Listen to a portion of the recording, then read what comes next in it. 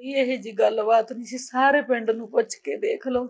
ਬਹੁਤ ਹੀ ਨਰਮ ਮੁੰਡਾ ਸੀ। ਨਾ ਨਸ਼ੇ ਪੱਤੇ ਨੂੰ ਮੂੰਹ ਲਾਉਂਦਾ ਸੀ। ਚੰਗੇ ਭਲੇ ਰੋਟੀ ਖਾ ਕੇ ਪਏ ਨੇ ਸੰ, ਵਧੀਆ ਖਾਸ ਪਰਿਵਾਰ ਸੀਗਾ। ਸਾਨੂੰ ਨਹੀਂ ਪਤਾ ਤੜਕੇ ਨੂੰ ਕੀ ਬਾਣਾ ਬੀਤਿਆ ਸਾਡੇ ਨਾਲ। ਅਸੀਂ ਤਾਂ ਜਦੋਂ ਮੁੰਡਾ ਭੱਜਿਆ, ਉਦੋਂ ਬਸ ਸਿਰਫ ਮੁੰਡਾ ਹੀ ਭਾਈ ਦਾ ਦੇਖਿਆ। ਬਾਅਦ ਚ ਉਸ ਦਿਨ ਬਹੂ ਦੇਖੀ ਜਦੋਂ ਬਹੂ ਮੁੱਕੀ ਪਈ ਸੀ। ਬਸ ਵੀਰੇ, ਅਸੀਂ ਇੰਨੇ ਹੀ ਕਹਿਣਾ ਚਾਹੁੰਦੇ ਆ ਰਾਤ ਦੀ ਗੱਲ ਆ। ਵਧੀਆ ਠੀਕ ਠਾਕ ਆਪਦਾ ਸਾਰੀ ਫੈਮਿਲੀ ਨੇ ਰੋਟੀ ਪਾਣੀ ਖਾਦਾ ਵਾ।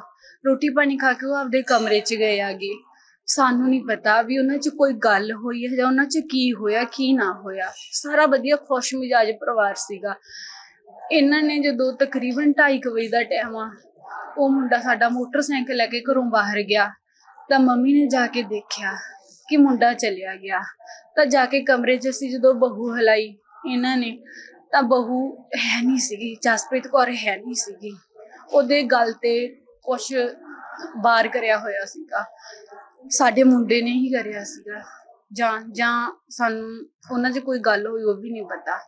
ਪਰ ਇੰਨਾ ਕੁ ਬਸ ਅਸੀਂ ਕਹਿਣਾ ਚਾਹੁੰਦੇ ਹਾਂ ਨਾ ਤਾਂ ਸਾਡੇ ਮਾਪਿਆਂ ਦਾ ਕਿਸੇ ਦਾ ਰੋਲ ਆ ਨਾ ਕਿਸੇ ਭੈਣ ਭਾਈ ਦਾ ਰੋਲ ਆ ਉਹਨਾਂ ਦੋਨਾਂ 'ਚ ਕੀ ਹੋਇਆ ਉਹ ਉਹੀ ਜਾਣਨ। ਜਾਂ ਸਾਡਾ ਮੁੰਡਾ ਦੱਸ ਸਕਦਾ। ਅਸੀਂ ਕੁਛ ਨਹੀਂ ਕਹਿ ਸਕਦੇ। ਅਸੀਂ ਪੁਲਿਸ ਪ੍ਰਸ਼ਾਸਨ ਨੂੰ ਜੋ ਦੋਸ਼ੀ ਸੀ, ਉਹ ਆਪ ਫੋਨ ਕਰਕੇ ਫੜਾਇਆ ਅਸੀਂ ਬਸ ਇਹੀ ਮੰਗ ਕਰਦੇ ਹਾਂ, ਜੋ ਦੋਸ਼ੀ ਆ, ਉਸ ਨੂੰ ਸਜ਼ਾ ਮਿਲਣੀ ਚਾਹੀਦੀ ਹੈ ਬਾਕੀ ਸਾਡੇ ਕਿਸੇ ਪਰਿਵਾਰ ਨੂੰ ਕੋਈ ਗਲਤੀ ਨਹੀਂ ਹੈ ਕਿ ਕਿਸੇ ਨੂੰ ਨਜਾਇਜ਼ ਨਾ ਫਸਾਇਆ ਜਾਵੇ।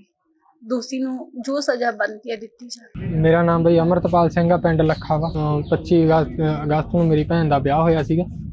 ਤੇ 25 ਅਗਸਤ ਦੇ ਵਿਆਹ ਤੋਂ ਬਾਅਦ ਜਾਣੀ ਕਿ ਅੱਜ ਘਟਨਾ ਮੇਰੀ ਭੈਣ ਦਾ ਕਤਲ ਕਰ ਦਿੱਤਾ ਜਾਂਦਾ ਜੋ ਕਿ ਸਾਨੂੰ ਪਤਾ ਉਹਨਾਂ ਦੀ ਪੰਚਾਇਤ ਵੱਲੋਂ ਤੜਕੇ ਸਵੇਰ 3:30 ਵਜੇ ਦੱਸਿਆ ਜਾਂਦਾ ਵਾ ਫੋਨ ਲਾ ਕੇ।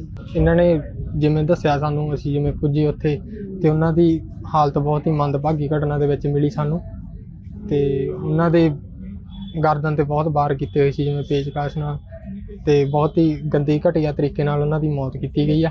ਤੇ ਅਹ, ਵਿਆਹ ਤੋਂ ਬਾਅਦ ਮੁੰਡਾ ਕੁਝ ਪਹਿਲਾਂ ਵੀ ਤੰਗ ਪਰੇਸ਼ਾਨ ਕਰਦਾ ਸੀਗਾ ਸਮਝਾਉਣ ਦੇ ਬਾਵਜੂਦ ਵੀ ਨਹੀਂ ਸਮਝਿਆ ਪਰ ਉਸਨੇ ਇਹ ਘਟਨਾ ਨੂੰ ਆਖਰ ਨੂੰ ਅੰਜਾਮ ਦਿੱਤਾ ਜੀ। ਪ੍ਰਸ਼ਾਸਨ ਤੋਂ ਸੁਣਵਾਈ ਘੱਟ ਹੋ ਰਹੀ ਹੈ ਜੀ ਸੁਣਵਾਈ ਕੀਤੀ ਜਾਵੇ ਚੰਗੀ ਤਰੀਕੇ ਨਾਲ ਇਨਸਾਫ ਦਿੱਤਾ ਜਾਵੇ। ਇਹ ਬਾਹਰ ਵੀ ਜਾਣਾ ਸੀ ਇਹਨੇ? ਬਾਹਰ ਦਾ ਆਉਂ ਹੈ ਜੀ ਲਾਇਆ ਹੋਇਆ ਸੀਗਾ ਪਰ ਜੇ ਬਣ ਜਾਂਦਾ ਤਾਂ ਜੀ। ਠੀਕ ਹੈ ਕਿਹੜਾ ਪਿੰਡ ਮਤਲਬ ਆਈ ਹੋਈ ਸੀ? ਅਹ, ਨਾਰਾਇਣਗੜ੍ਹ ਸੋਈਆਂ ਵੀ ਆਈ ਸੀਗੀ। ਵੀ ਸਾਨੂੰ ਇਨਸਾਫ ਮਿਲੇ ਜੀ ਪੂਰੇ ਤਰੀਕੇ ਨਾਲ। ਅੱਛਾ ਪੁਲਿਸ ਤੁਹਾਡਾ ਸਾਥ ਨਹੀਂ ਦੇ ਰਹੀ? ਹੁਣ ਕੁਝ ਘੱਟ ਸਾਥ ਦੇ ਰਹੀ ਹੈ ਪਰ ਸੁਣਵਾਈ ਘੱਟ ਹੋ ਰਹੀ ਹੈ ਤੇ ਪ- ਪਿੰਡ ਵਾਸੀ ਤੁਹਾਡਾ ਸਾਥ ਦੇਣ ਦੇ ਰਹੇ ਆ ਜਾਂ ਨਾ? ਹਾਂਜੀ ਪੰਚਾਇਤ ਸਾਡਾ ਸਾਰੇ ਸਾਰੀ ਸਮੂਹ ਪੰਚਾਇਤ ਸਾਡਾ ਸਾਥ ਦੇ ਰਹੀ ਹੈ ਜੀ। ਨਗਰ ਸਾਰਾ ਸ- ਸਾਥ ਦੇ ਰਿਹਾ ਜੀ। ਪਰ ਸਾਡੀ ਸੁਣਵਾਈ ਘੱਟ ਹੋ ਰਹੀ ਹੈ। ਮੈਂ ਕਰਮਜੀਤ ਸਿੰਘ ਸਰਪੰਚ ਸਾਬਕਾ ਜੰਗੀਆਂ ਤੋਂ ਸਾਡੇ ਪਿੰਡੋਂ ਰਿਸ਼ਤੇਦਾਰੀ ਹੈ ਲੱਖੇ ਦੀ ਗੁ- ਲੱਖੇ ਪਿੰਡ ਦੀ ਕੁੜੀ ਹੈ। ਜਿਹੜਾ ਕੁੜੀ ਦਾ ਪਰਿਵਾਰ ਬਹੁਤ ਨਰਮ ਹੈ। ਕੁੜੀ ਦੇ ਮੈਰਿਜ ਹੋਈ ਨੂੰ ਹਜੇ ਤਕਰੀਬਨ 20 ਕੁ ਦਿਨ ਹੀ ਹੋਏ ਹੈ। ਤੇ ਇਹਨਾਂ ਨੇ ਰਾਤ ਸਹੁਰੇ ਆਇਆਂ ਨੇ ਸੋਈ ਆਇਆਂ ਨੇ ਕੁੜੀ ਨੂੰ ਮਾਰਤਾ ਤੇ ਹੁਣ ਪੁਲਿਸ ਕਾਰਵਾਈ ਕਰੀ ਜਾਂਦੀ ਹੈ। ਕਹਿੰਦਾ ਬਾਕੀ ਚਲੋ ਸਾਨੂੰ ਸੰਤੁਸ਼ਟੀ ਹੈ ਵੀ ਕਾਰਵਾਈ ਵੀ ਵਧੀਆ ਕਰਨਗੇ ਪੁਲਿਸ ਵਾਲੇ ਸਾਰੀ ਕਰਨੀ ਚਾਹੀਦੀ ਵੀ ਹੈ। ਗਾਹਾਂ ਨੂੰ ਨਹੀਂ ਇਹੀ ਘਟਨਾ ਵਾਪਰਨੀ ਚਾਹੀਦੀ। ਕਿਹੜੇ ਪਿੰਡ ਵਿਆਹੀ ਸੀ ਇਹ? ਨਾਰਾਇਣਗੜ੍ਹ ਸੋਈਆਂ। ਪਹਿਲਾਂ ਮੰਗਦੇ ਸੀ ਕਹਿੰਦਾ ਕਿਤੇ ਕੋਹ ਮੰਗ ਲੈਂਦੇ ਸੀ। ਵਿਆਹ ਤੋਂ ਪਹਿਲਾਂ ਵੀ ਉਹਨਾਂ ਨੇ ਚੰਦੀ ਕੁਝ ਜ਼ਮੀਨ ਵਗੈਰਾ ਲਿਖਾਈ ਵੀ ਹੈ। ਤੇ ਹੁਣ ਵੀ ਪੈਸਿਆਂ ਦੀ ਮੰਗ ਕਰਦੇ ਸੀ ਉਹਦਾ ਵੀਜ਼ਾ ਕੁੜੀ ਦਾ ਆਇਆ ਬਸ।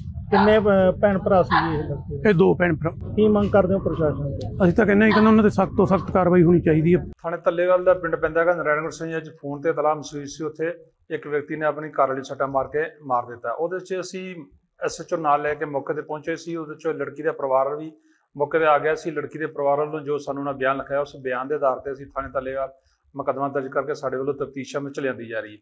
ਤੇ ਉਹ ਤੇ ਮੁੱਢਲੇ ਤੌਰ ਤੇ ਜੋ ਅਸੀਂ ਸਰਸਰੀ ਮਰਾਜਾ ਚੈੱਕ ਕੀਤਾ, ਉਹਦੇ 'ਚ ਇੱਕ ਲੇਡੀ ਹੈਗੀ, ਕਰੀਬ ਉਹਦੀ ਉਮਰ 19 ਸਾਲ ਹੈਗਾ, ਹੁਣ ਇਹ ਕਰੀਬ 1 ਮਹੀਨਾ ਕੁ ਹੋ ਗਿਆ। ਉੱਥੇ ਮਤਲਬ ਨਾਰਾਇਣਗੜ੍ਹ ਸੂਈਆਂ ਦਾ ਵਿਆਹ ਹੋਇਆ ਸੀ। ਉਹਦੇ ਵਿੱਚ ਜੋ ਮੁਲਾਜ਼ਮ ਤੋਂ ਸੱਟਾਂ ਹੈਗੀਆਂ, ਸੱਟਾਂ ਦੇ ਮਤਲਬ ਕਿ ਉਹਨੇ ਉਹਦੇ ਘਰਲੇ ਨੇ ਸੱਟਾਂ ਮਾਰ ਕੇ ਉਹਦਾ ਕਤਲ ਕੀਤਾ ਗਾ ਉਹਦੇ ਚ ਜਿਹੜਾ ਹੁਣ ਨਵਾਂ ਲਾਇਆ ਗਿਆ ਬੀਐਨਐਸ ਉਹਦੇ ਚ 103 3 ਬਲੀਕ 5 61 ਬਲੀਕ 2 ਬੀਐਨਐਸ ਦੇ ਤਹਿਤ ਜੋ ਪੁਰਾਣਾ ਮਤਲਬ ਵੀ ਲਾ 302 ਜੋ ਪਰ ਹੁਣ ਨਵੇਂ ਲਾ ਦੇ ਤਹਿਤ ਮੁਕੱਦਮਾ ਦਰਜ ਕੀਤਾ ਗਿਆ।